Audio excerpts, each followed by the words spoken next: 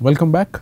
So, uh, so far we have uh, in this course we have discussed many things like uh, we have discussed uh, uh, chemical equilibrium, uh, we have discussed chemical kinetics, different kind of theories of to obtain the reaction rates, the reaction rate constants as such. And we have discussed the oxidation mechanism of practical fuels as the mechanisms by which pollutants are being formed. Uh, then we have discussed different kinds of flames, we have discussed laminar non-premix flames, we have discussed uh, droplet combustion, we have discussed laminar premix flames, thermodynamics, premix flame structure, we have premix flame speed and then um, gone on to discuss the different chemical structure of premix flames. Uh, but of course, as you know that these are all uh, the last th things the, the flames that we have discussed those are like steady state flames. So, those tells you about the propagation characteristics those tells you about the stabilization characteristics about the temperature, but they do not tell you how to get them that is how to ignite them or how to extinguish them or what can cause this extinction. So, for a practical engine of course, you cannot start with a flame of course, when you have a engine when you start the engine you have to ignite it somehow. And uh, you have to understand once again we will go to the actual ignition problem in an engine later, but for now we have to first understand that what are the basic principles which can lead to ignition which we call thermal explosion. Uh, that is uh, uh there is no of course explosion involved here it is just a rapid rise of uh, rapid uh, it is of course this rapid rise of temperature and that is taking place and we use this thermal explosion we will go to the S curve concept we will go to extinction flammability limit and flammability limits and the concepts of flammability and flame stabilization. We will mainly not mainly go into this these topics here um, uh, extinction and uh, flammability we will just discussed and uh, flame stabilization we'll take up later. So, uh, what is what do you mean by ex, uh, uh, by explosion? By explosion we mean a thermal runaway. Of course, as I said, there is no actual explosion involved. It's just a thermal runaway where the temperature can rise quickly in a given mixture because of the combustion reactions, and uh, it's essentially caused by a feedback loop involving nonlinear Arrhenius heat generation and linear heat loss.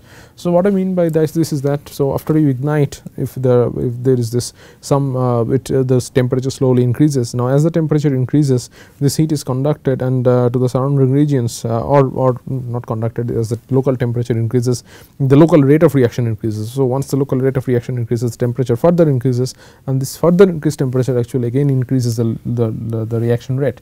But at the same time as the temperature increases the heat loss also increases because the temperature difference with the surrounding also increases. So, the heat loss increases. So, uh, on one hand you have this uh, highly nonlinear Arrhenius heat generation uh, and on the other hand you have a linear heat loss. So, it is the balance of this that that tells us whether in a given state of mixture we would be able to have an ignition at all possible which can be obtained by thermal runaway.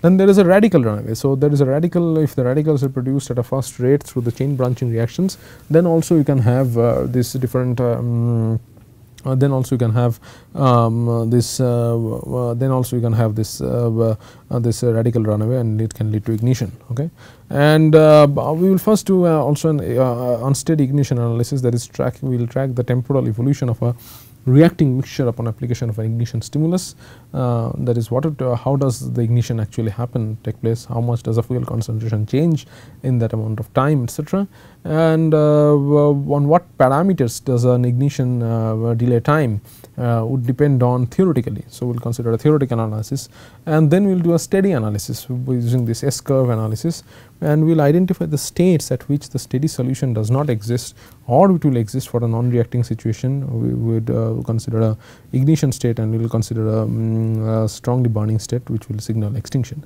So, we will do the S curve analysis just like the Z curve analysis, this is an S curve analysis and will tell us under what conditions you can have ignition, under what conditions you cannot have ignition like that. Okay.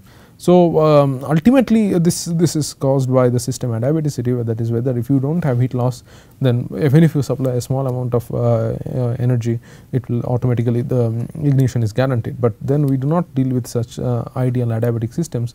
We always deal with systems which are exposed to the surroundings which are exposed to um, uh, which are exposed to the surroundings. For example in a in a gas turbine engine you have uh, like hmm, like a nozzle okay?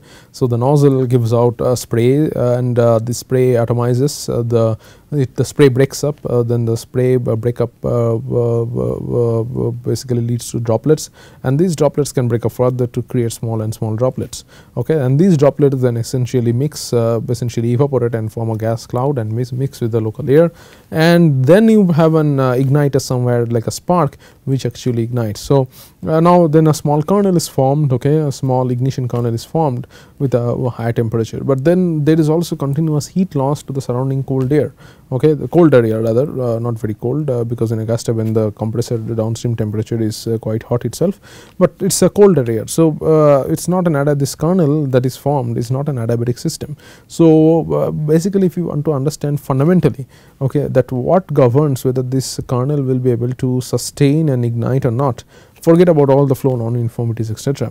at least from a fundamental point of view at least from a very simple analysis uh, like a, a, heat generation heat and loss point of view uh, without considering the flow non-uniformities etc. If we just want to understand that then uh, what are the considerations what governs whether in an idealized state if you form a kernel or not what whether it will ignite or not. So, that is very important to design your ignition system okay and uh, uh, that is uh, very critical because if you do not have ignition you do not have essentially power. So, um, to, to have that we need to understand this concept of ignition and extinction. There can be other limit phenomena like uh, flammability limits that is uh, given mixture temperature and pressure. Uh, what are the leanest and richest concentrations beyond which flame propagation is absolutely not possible. Okay, and these set the boundaries, ultimate, ultimate boundaries for extinction.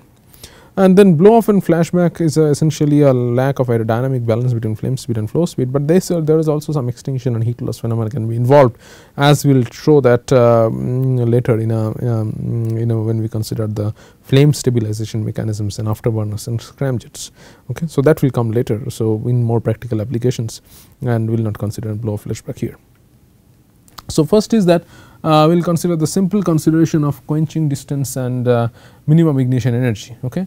Uh, so, what is concept of quenching distance? You see um, if you suppose have two adiabatic parallel plates okay. So, uh, or, or not just two metal plates uh, which are separated by a small distance. Now, you can easily think that if you have to sustain to say this uh, plate is filled the inside of this plate is filled with fuel air mixture. Now, if you ignite it it is very easy to understand and easy to intuitive that if these plates are not separated by a substantial distance these flame will immediately extinguish okay. This is essentially the principle then it will extinguish by the conduction and heat loss okay and this is um, this comes from the concept of this Miner's safety lamp or the Davy's safety lamp where uh, you basically this mesh is uh, made so uh, fine. So that uh, even if there is a surrounding fuel air mixture the flame inside the lamp really does not cannot get out and ignite the whole mixture. Okay because once it tries to get out it just gets quenched to the fine over distance between these two meshes between these wires. Mm, so that is the concept of the miner safety lamp. And that is the concept of the quenching distance that uh, for a flame to be for a premix flame to be not quenched okay uh, to be not quenched while passing through two uh, say parallel plates the distance between them uh, should be greater than the quenching distance. And then what should the quenching distance depend on?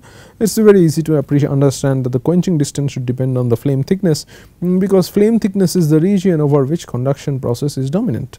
Okay so that is why the dq is essentially proportional to the ld0 which is the planar laminar flame thickness. Okay so now uh, uh, then uh, we can by the same token we can think that uh, that um, the minimum ignition energy by a uh, minimum ignition energy by a spark okay that is um, uh, should be essentially have some bearing on this this kind of a relationship. That is the minimum ignition energy by a spark should be that energy by which I should be able to take the temperature of a given mass of gas and what should that mass of gas be?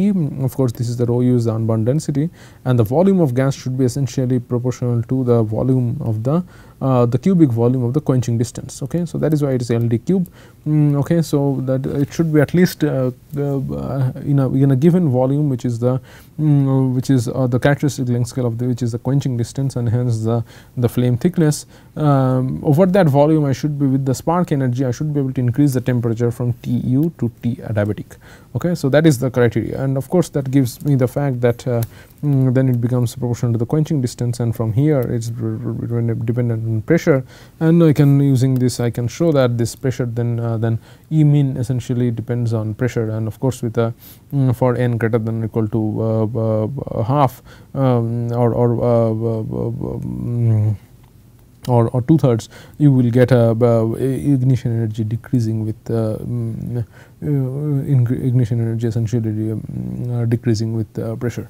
Okay. So, this is the point and uh, here of course, you see that this quenching distance if we plot and on the y x axis and the minimum spark energy or ignition energy on y axis you still get a law which is essentially proportional nearly close to this 3 behavior and which says that this um, this relationship is correct in the ballpark. Okay. Now, uh, let us consider this in more details that is suppose we are igniting a gas uh, by putting an amount of um, uh, by by uh, with the temperature of which is uh, increasing and uh, due to heat release. So, we have a so this is the the situation that we have a we have a um, we have a we have this condition of this adiabatic thermal ignition and uh, where we are considering the governing equations for constant volume ignition. So, for, for per unit for a per unit volume um, the temperature rise in a in a given uh, in a given volume uh, uh, will be in which we are not considering any transport. So, homogeneously in the given volume if we supply some energy then the because of heat release the temperature will rise and the temperature rise is essentially given by um, this this uh, left hand side rho Cv dt dt that is this uh, rate of change of temperature with respect to time. So, this is a temporal uh, this is a this is a time varying uh, transient term and how much will the temperature rise that is the right hand side of your energy equation which is essentially the heat release times the mass fraction uh, the rate of consumption of this uh, uh, rate of change of uh, concentration of the fuel. Okay. Um, I mean of course, this is to the leading um, order uh, when you have this uh, fuel in lean quantity with respect to the oxidizer this is the same consideration we had it for the premix flame so, then this dCf dt we can write is to be given by this. Uh, so, essentially this rate of change of temperature uh, rate of change of temperature is essentially equal to the rate of release of uh, heat. Uh, so, it is essentially equal to the rate of heat release equal to the heat release rate whereas this is V this is the QC and this is CF which is a concentration and this is Arrhenius term. Okay and uh, this is the heat of combustion. And so, we can normalize this of course, by the same manner that is T tilde is equal to like CVT by QC YU um, and then uh, CF by um, mm, CF tilde is equal to CF by say CF 0 whereas CF 0 is the initial concentration okay? Um, initial concentration of the fuel. And then of course you will get a relationship like this all right and then um, uh, we can sum these two things and create a coupling function okay then uh, this take this on the right hand side and then the dt tilde plus cf tilde equal to 0 and then we can write of course that uh, at uh, t equal to t0 at time t at time t equal to 0 your temperature is at the T0 that is the initial temperature okay. So, we are trying to find out basically that if you keep a given volume of a gas at a temperature T0 how much time will it take for it to ignite okay. So, um, then of course at uh, at time uh, at a, whereas at time t equal to at a later time um, this uh, this uh, at so dt if we have this equation dt tt is equal to t um,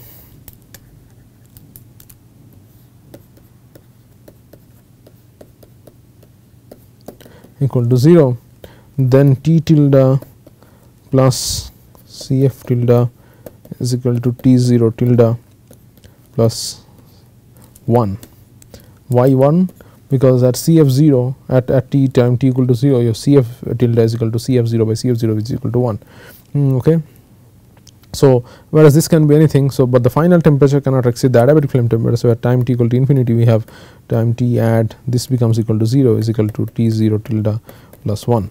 So, we can replace this 1 plus t 0 tilde here itself with t add and then this becomes t tilde is equal to t add tilde minus cf tilde alright. So, uh, this is the thing.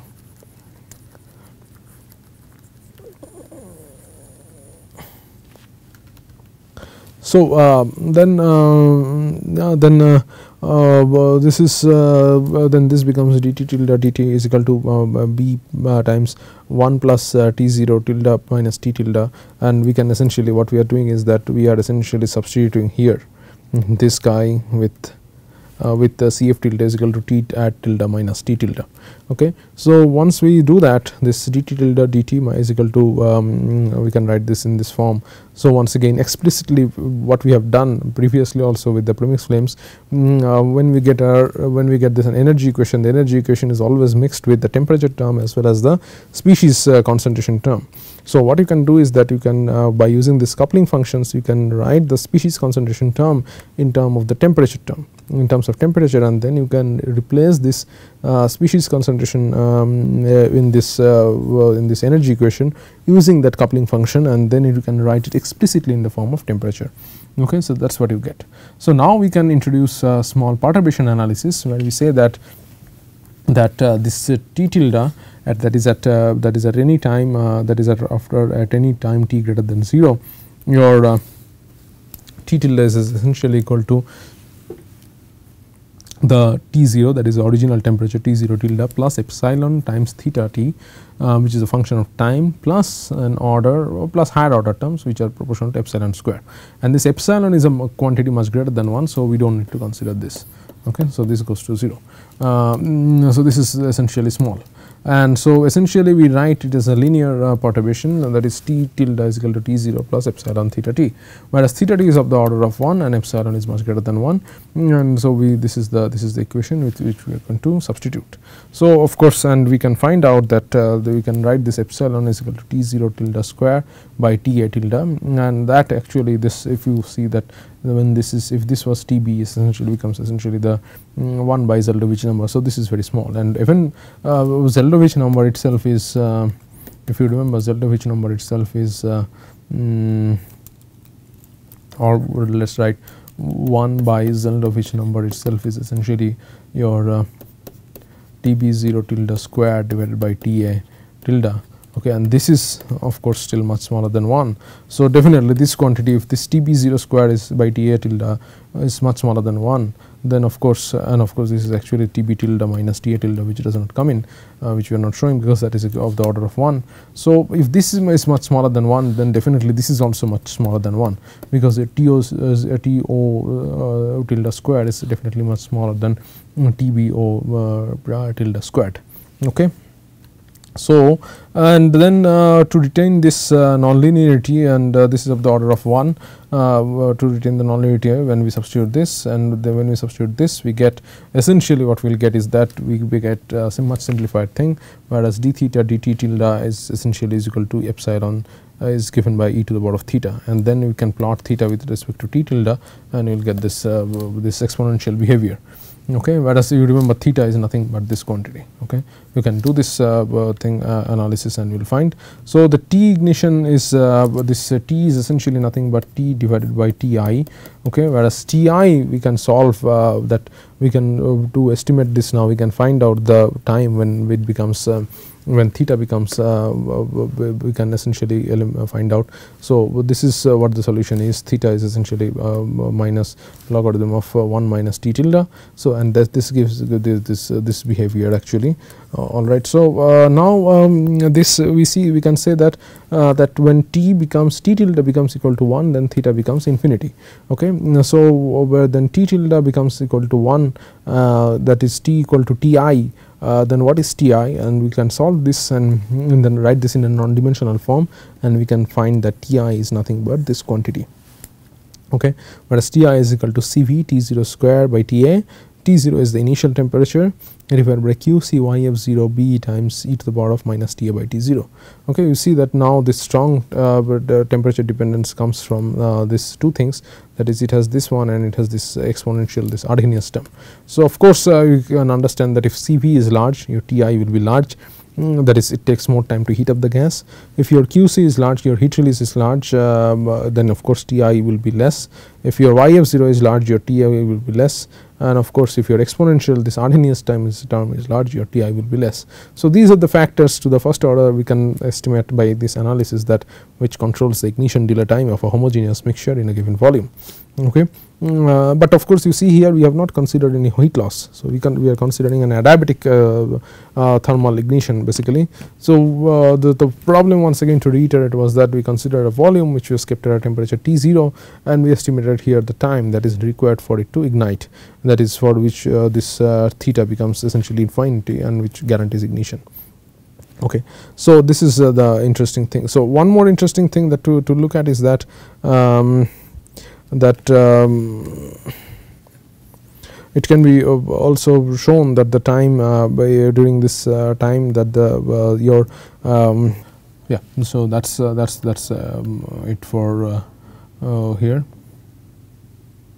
And yes so what we can do here is that uh, if we just take this thing and uh, write this equation that is uh, t tilde that is t tilde is equal to t 0 plus epsilon theta that is so if we substitute this thing here uh, this is the interesting thing to show is that that is uh, this then we write the t tilde plus epsilon theta plus cf tilde is equal to t 0 tilde plus 1 okay so cf tilde is equal to 1 minus epsilon theta. Okay so of course now um, when uh, uh, I mean uh, this because this epsilon is very small we can say that this CF this is of the essentially of the order of 1. So, CF tilde is essentially equal to 1 for most part of the time. So, it means that during ignition even when the temperature rise is substantial as long as this is this quantity is small your consumption your fuel consumption is very less. Okay. So, uh, CF tilde remains up to 1 as or up to very long terms of the uh, uh, up to up to essentially up to your um, extinction. So, that is the point and um, uh, we wanted to show and that is a fact is uh, comes from the fact that it has this this kind of a behavior. So, then uh, of course, this gives us a time of ignition of um, volume of a given volume of fuel air mixture when then there is no heat loss but of course in a practical scenario there are heat loss and um, in that case ignition is not guaranteed. In the previous case ignition was guaranteed because you just keep at uh, the you just keep uh, take a take a uh, volume and uh, make it uh, um, uh, put it in a basically a chamber without heat loss and you put that you put an initial temperature of T0 then of course there is no way other than for this, that for that mixture to ignite. Okay so uh, as a result of that the the ignition uh, carried on. Uh, whereas um, if you have a heat loss then the ignition is not guaranteed. And um, then we again go to this analysis of like for that same volume, but here the heat loss takes place to surface whereas the heating up of this mixture and this heat release takes place to the volume. So, you have on the left hand side this is your transient term this is the temperature rise term to volume uh, for a given mass this is once again volume whereas this is the surface area and this is the heat loss. Okay. So, this can immediately be by going by the previous analysis this can be immediately cast into that form. D theta dt tilde is equal to e theta minus h tilde theta. Okay and uh, this now uh, will give you this uh, uh different things. So, uh, we can plot these things individually. This is the heat generation term. Essentially this corresponds to this term and this will correspond to um, and this will essentially corresponds to uh, this term. So, we can plot these two terms and uh, the sum on uh, uh the sum of these two terms h e, th, e, th, e to the power of theta e theta minus uh, and uh, plus of minus of h tilde theta is essentially equal to the the heat loss. So, this is the heat generation curve this is the e, e theta curve and now let us have different possible rates of heat loss. So, you see so this is uh, uh, this case let us go from the case uh, 2 where uh, definitely your uh, heat loss uh, this slope is given by h this this heat loss is much much weaker than the heat generation. This is the curve which is much larger. So as a result of that this ignition is guaranteed. No problem. So for case 2 the ignition is guaranteed.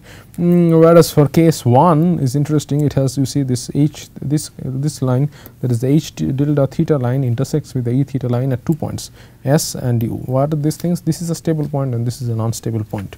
Why? Because you see at this point this is theta that is increasing. This is essentially non-dimensionalized uh, uh, it's a part of the temperature.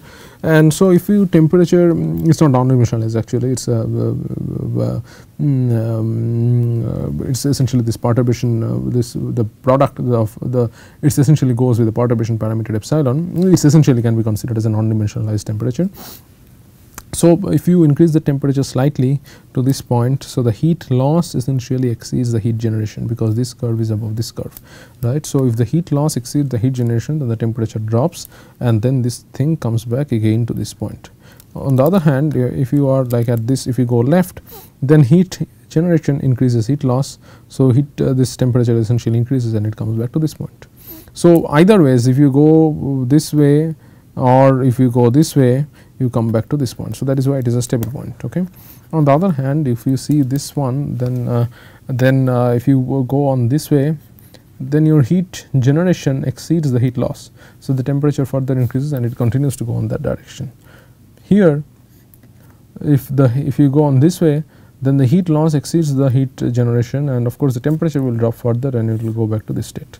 Okay. So, uh, this is an unstable point, this is a stable point and that is why um, uh, that is uh, at this point you always go to this point and if you if you are at this point you go back to this point. So, this is the stable state and this is the unstable state. But what is the critical condition? What is the limiting condition for which you can have ignition in this case? The critical condition is given by the point where this generation curve is essentially tangent to the heat loss curve. So, and um, the the, the, the definition of tangency is given by these two things that is the the tangency means that at this point your both your heat generation and heat loss must have same magnitudes okay and at the same time the slopes must be same so that same magnitude means e theta e to the power of i theta ig is equal to h tilde theta ig okay and then the slopes must be same. So, if you uh, differentiate this thing you get e to the power of i theta i j, but if you differentiate this scheme you think uh, you can get only h i j. So, if you substitute this, so it means that the magnitude is same, slope is same. Mm, so, if you substitute this thing that is if you substitute uh, mm, uh, e to the power of theta i j is equal to h i j here you get theta i j is equal to 1 okay and uh, you get uh, similarly h tilde ig equal to epsilon e okay. So, this is the Semenov criteria that is a critical condition for which you can have ignition even in presence of heat loss. So, where it means that the critical condition your heat generation rate okay, your heat generation rate is equal to your heat loss rate and also the rate of heat generation rate and the rate of heat loss rate should also be same by this tangency conditions. So, this is the tangency condition and this is called the Semenov criteria. Okay. So, uh, next uh, we will uh, consider using these uh, principles we will consider the um, we will consider the the, uh, the extinction in a principle of well stirred reactor. So, here what we do is that um, we do not do a transient analysis. So, using that the previous concepts what we do is that we consider a flow into a well stirred reactor okay? And we consider the under what states we, we consider that uh, uh, the those steady states which can lead to ignition or which can lead to extinction okay? Or whether this like a whether that is a steadily burning state whether that is a non steadily uh, like a mixed state without any ignition and under what steady conditions we can get uh, that is uh, we can have ignition and extinction. So, this is a steady state analysis unlike the unsteady state analysis that we did previously. Okay. So, it is a steadily uh, uh, stream uh, so it is a steady stream coming into through and so you can have a, a vessel like this where you have an inlet okay and um, where you have an outlet okay? Mm, so, this inlet comes in outlet goes in and say this uh, inlet has two has two inlets through which one fuel comes in one oxygen comes in and they are immediately mixed here okay. So, the mixing is instantaneous uh, so this is fuel and this is air. So, this mixing is instantaneous and this uh, and and then this is also drained out through this uh, so there is a continuous flow okay. So, what we try to understand is that in this thing if we consider the state inside this uh, chamber which is at a particular so which is uh, which is always at a particular steady state okay that whether these steady states corresponds to a fully burning state whether this consider uh, to a fully uh, unburned state and wonder what limiting state this can transition to ignition under what state it can transition to extinction. So, this is a steady state analysis unlike a unsteady state analysis in the previous cases. So, this is a well stirred reactor uh, thing.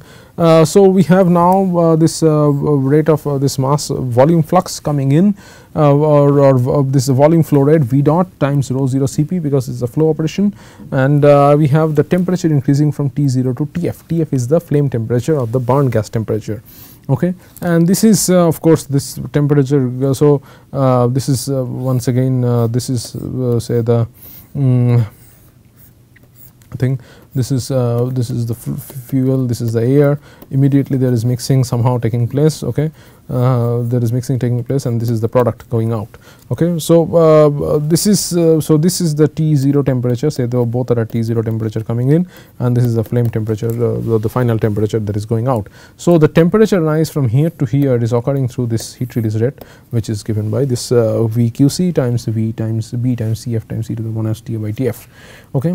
So this is the steady state operation that inside this reactor. And uh, once again we can use that previous analysis to say that you know T add uh, this is general coupling function. So, it is like true. It is we saw the same thing in the in the essentially the um, the, the premix flame analysis also. It is T at uh, tilde minus C f tilde.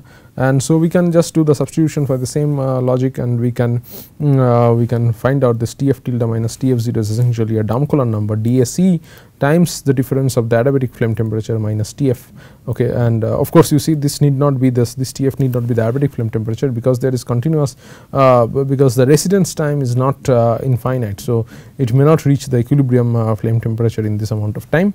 Uh, so what is the temperature reached this Tf is maybe different for uh, this thing. It is easy to understand that if this comes in at a very very high speed fuel and air so even if they are mixed because of the small residence times it can go out of the reactor even if reaction takes takes place. Okay. So, uh, that is where that is this effect is captured through this uh, term called Damköhler number which is essentially this B which is the characteristic collision time divided by V dot by V which is the um, essentially the this is the inverse of the characteristic collision time and this V dot by V is essentially the inverse of the characteristic flow time.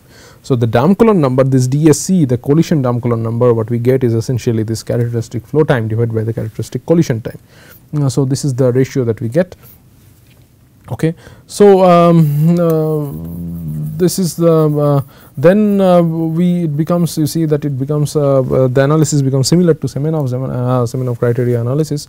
So, here we also have this sharp e to the power of theta type of behavior going up, but then it comes back because your CF is consumed now okay. So, which we did not consider in the previous cases right. So, um, There is a consumption of Cf which we assume to be essentially constant because of Cf was essentially equal to 1 for most part of the time. Uh, so, this is the difference um, and so in that case once again we can consider this uh, this generation curve uh, to be given by this uh, right hand side that is uh, Cf times uh, e to the power of minus Ta tilde divided by Tf tilde and the loss curve which is given by DFC um, mm, inverse of Damköhler number times Tf minus Ta 0 okay. And uh, this balance of this we see that uh, uh, this is uh, this uh, e to the power of uh, theta term theta curve similar to this. But then you now have a drop because now cf is consumed which we did not have previously. Okay. So now this one you see this the loss is much bigger than this thing okay.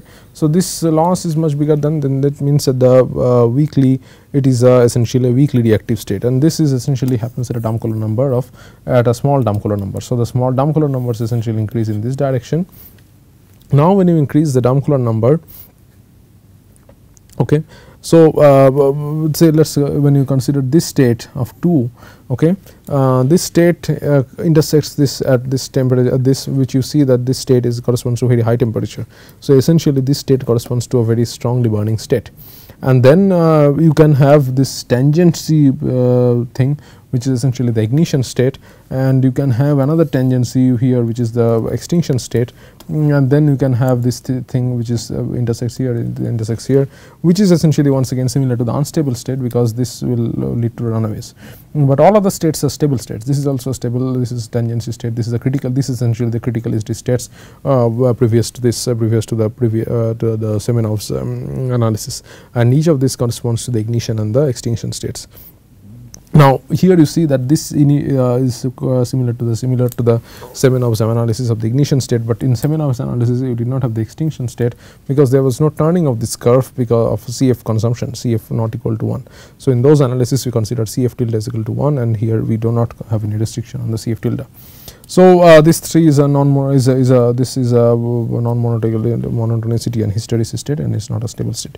So, anyways this is uh, the ignition and the, um, the extinction states which we analyze and using this uh, mm, that is uh, that is this this point that is uh, can be identified using this uh, ddt of f of ln of dA collision and number by d Tf temperature equal to 0 and then we can plot this in a more familiar curve which is called the S curve that is we can plot it as a maximum temperature reaction temperature or burning rate versus the uh, on the on the y axis and Damköhler number on the x axis. So, the Damköhler number once again is essentially the flow time scale divided by the collision or reaction time scale. Okay. So, uh, to, to summarize the previous analysis which you can understand, but this gives a better picture, a clearer picture is that if you start from here okay this is the intensely burning branch and if you reduce the Damköhler number that is if you reduce your flow time scale with respect to the collision time scale that is your flow time scale your flow velocity time scale can be reduced by increasing the velocity okay or by decreasing the residence time or by decreasing the, the length. Uh, but if you increase the velocity then this burn intensely burning branch goes to this point which is an extinction state and from there it immediately goes down. This is uh, it does not follow this thing okay. So, this is one, one uh, thing. That is what happens when you from an intensely burning branch if you reduce your Damköhler number you go to a state of extinction. Okay. On the other hand if you have your very small Damköhler number to start with and which is essentially the frozen state because your say flow time is uh, large uh, is, is, small with respect to your chemical times or collision times. Now you increase the Damköhler number by reducing your flow speed. Okay. So, what happens is that it this temperature increases and suddenly at this point you have a ignition state and this point goes straight up here and then go to a branching state. So, these are the, the two points if you uh, have to annotate this it is like this. So, starting from here uh, you go here you go here and from here you go straight to this thing okay uh, so this is the the the this is the this is the extinguishing extinction happening and from here you go to this this part okay that is the, mm, this thing on the other hand if you go from um, uh, if you go start from a small Damköhler number and to want to ignite something so you start from this state and you go here or go here and then you at this ignition point at this large Damköhler number you hit it and then you go to the uh, main branch. So, this is the hysteresis okay this this the loop is uh, the hysteresis loop of ignition and extinction and the point to be noted here is that the ignition Damköhler number okay is much larger than your extinction uh, number. So, it is uh, so even a, a, given state of a gas it might be burning, but that does not mean that you can uh, at that particular state if you start from fresh if you start from you can ignite start from a fresh mixture and ignite that gas at that state because it can be that state which is even have a Damköhler number lower than this state. So, for ignition it is it's much more difficult to ignite a uh, uh, ignite um, ignite a ignite a fresh uh, mixture than uh, to uh, than to essentially extinguish it. Uh, your extinction happens at much smaller Damköhler numbers where the ignition happens at much larger Damköhler numbers.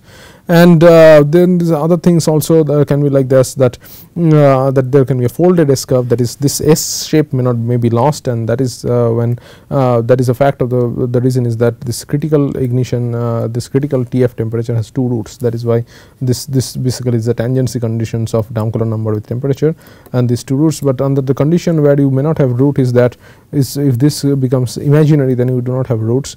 And then it can become imaginary if you have two things. That is if your uh, adiabatic flame temperature is uh, very uh, um, if you have if you have uh, basically very low activation energies reactions and if you have high initial temperatures that is your T0 is very large itself.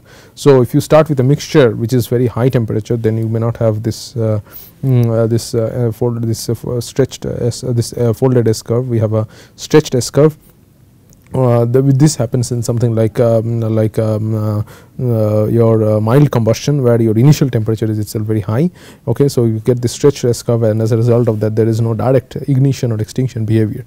Uh, so it's a it's a continuous uh, process of combustion that is happening. And um, that is that or if you have low activation energy reactions then you do not have this sudden jump in from the ignition to the extinction states. So um, with that we'll we'll close this um, class and come back to analyze the extinction processes. So we have discussed the ignition processes so far. So, till then thank you very much.